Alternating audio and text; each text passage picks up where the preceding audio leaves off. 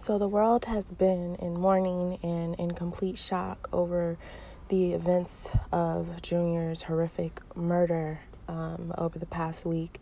New video footage has been released from the bodega, the corner store uh, where the gang viciously pulled Junior out and attacked him.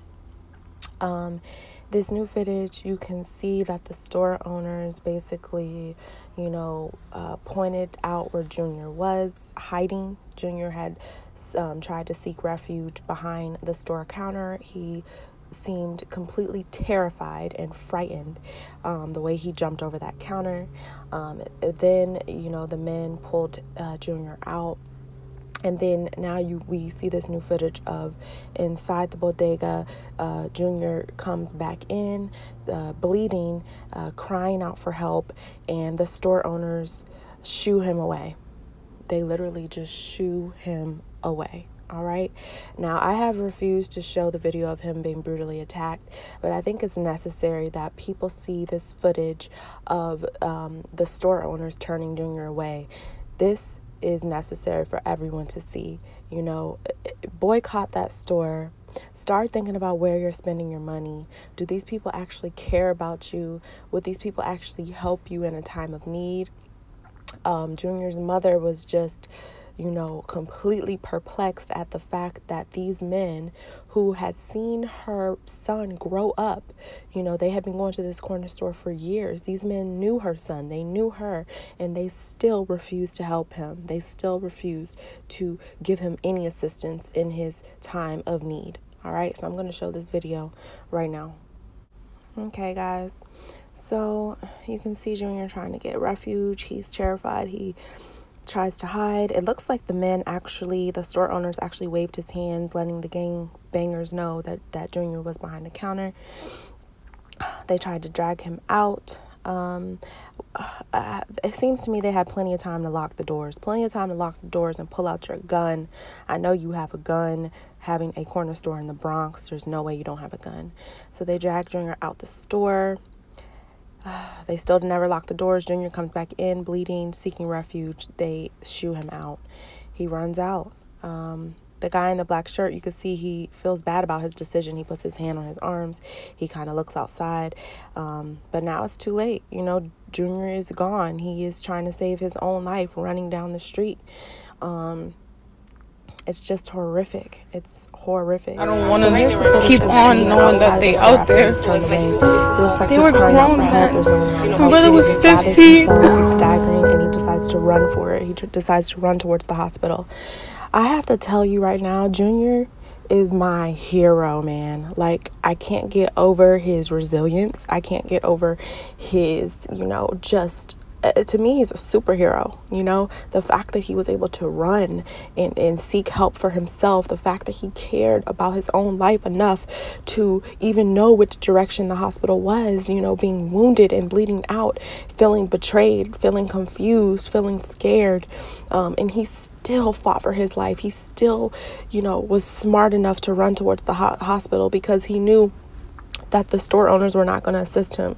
He was crying out in the streets. No one was going to help him, you know? And this just, I can't get over this. I've seen a lot of horrible things in my lifetime. I have experienced a lot, but I have just never seen a complete disregard for human life in this way before. Not only by the gang members, but just by the people who were around who could have assisted and who could have helped. The fact that they just you know, don't even care about involving themselves because either they're too scared to involve themselves or they just don't care enough because this isn't their, you know, blood. This isn't their family. I don't know what it is. I don't know, but I'm calling for a change. I'm calling for action. I know for me personally, a lot of people say what they would or wouldn't have done, but I know there's no way in hell I could have just sat by and not helped that boy. I don't care if I started screaming like a maniac just to scare the gang members. Just scream at the top of your lungs. Tell them the police are on their way. Scream. Throw cans of fucking beans that was in the store. Lock the door. Starts just screaming, crying. Stop, stop, stop. It looks like no one was even affected in that way. No one even tried to intervene in any way, shape, or form, even if it's just to scare the fucking killers off. You know? And and even afterwards, they were gone. The damage was done. That boy came in the store again just hoping you guys would help him while he was bleeding out and you don't even help him. I think the one good thing we can take from this and believe me, it's very hard to to see even one good part of this whole situation. But the one one good thing is I believe people all over the world were extremely affected and this really hit home for people.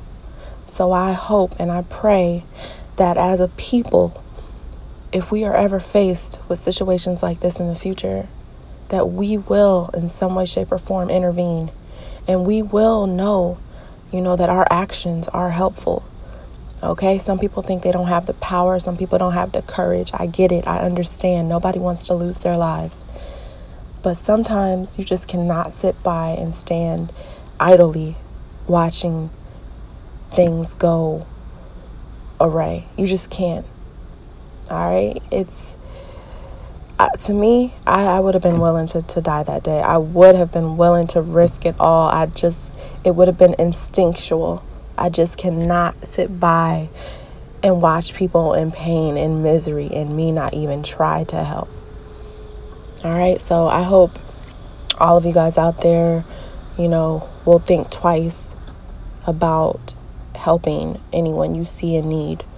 Um, and let's just do that for Junior, man. Let's just do that for Junior. We can't bring him back, but what we can do is make a positive change in his name.